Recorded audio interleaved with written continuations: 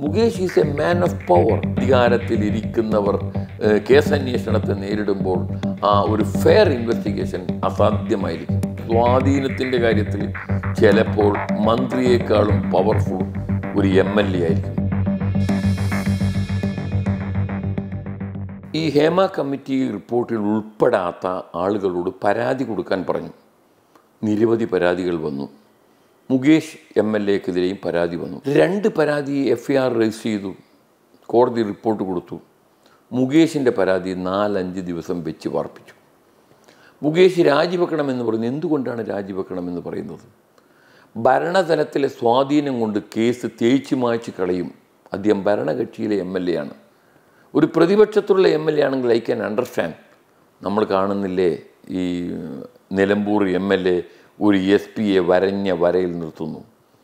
ആ മുകേഷിനെതിരെ അറസ്റ്റ് ചെയ്യേണ്ടി വന്നാൽ ഏത് പോലീസുകാരാണ് മുകേഷിനെ അറസ്റ്റ് ചെയ്ത് കൊണ്ടുവരാൻ ധൈര്യപ്പെടുക?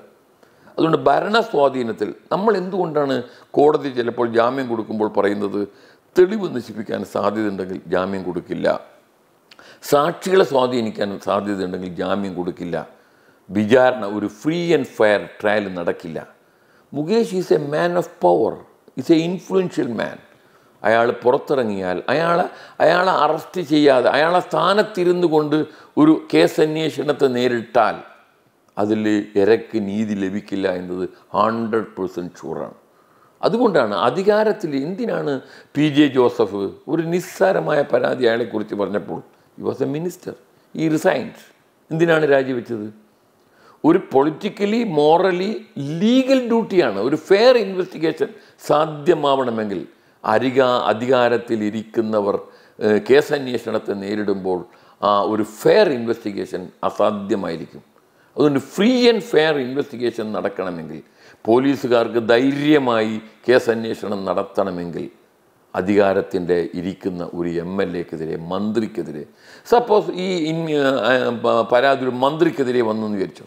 മന്ത്രി പറയുന്നു ഞാൻ രാജിവെക്കുന്നില്ല. ആ മന്ത്രിക്കെതിരെ കേരള പോലീസ് അറസ്റ്റ് ചെയ്യാനും അദ്ദേഹത്തിനെതിരെ തെളിവ് ശേഖരിക്കാനും ധൈര്യം കിട്ടുമോ? ആ മന്ത്രിക്കെതിരെ മൊഴി കൊടുക്കാൻ ഇരകൾ മുന്നോട്ട് വരുമോ?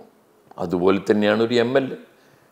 ഭരണകക്ഷിയിലെ എം എൽ എ എന്ന് പറയുന്നത് ഇസ് ഈക്വൽ ടു മിനിസ്റ്റർ മന്ത്രി ഭരണതലത്തിന് അധികാരങ്ങൾ ഉപയോഗിക്കുന്നുണ്ട്. പക്ഷേ സ്വാധീനത്തിന്റെ കാര്യത്തിൽ ചിലപ്പോൾ മന്ത്രിയേക്കാളും പവർഫുൾ ഒരു എം എൽ എ ആയിരിക്കും. അതുകൊണ്ടാണ് ഈ മുകേഷ് രാജിവെക്കണമെന്ന് പറയുന്ന പ്രതിപക്ഷത്തിന്റെ ആവശ്യം ന്യായമാണ് എന്ന് നമ്മളാരും പറയുന്നതല്ല. ഇടതുപക്ഷ മുന്നണിയിലെ പ്രമുഖ നേതാവായ ആനി രാജയടക്കം പറഞ്ഞുകൊണ്ട് മുന്നോട്ട് വന്നു.